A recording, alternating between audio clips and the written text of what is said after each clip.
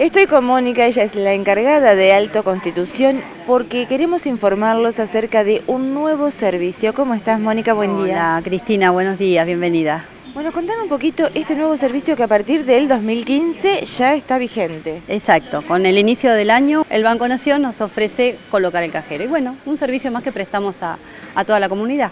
Para que la gente sepa qué se puede hacer y qué no.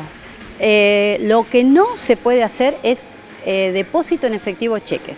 Después todas las transacciones bancarias, pago mis cuentas, eh, de cobrar las señores las pensiones, la jubilación, le entregan el recibo, todo lo que se hace en un cajero, menos depósitos. ¿Se puede retirar dinero? Retirar dinero, obviamente, eh, podés este, hacer todas las transacciones que se hacen en un banco de la Red Link. Únicamente. Únicamente Red Link, sí pueden pagar acá en este cajero.